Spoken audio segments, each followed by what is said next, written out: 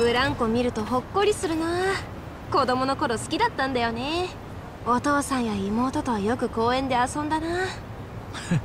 そうか。俺もいつか家族ってやつを持ったら休みの日は遊んでやりてえな。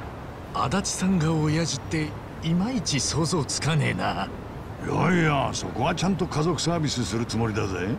あれだよ。パパ活ってやつだろ？いやそれ全然意味違うから。よそで言わないでよねおうなんかすまん。いい話になりそうだったのに。いくらでも戦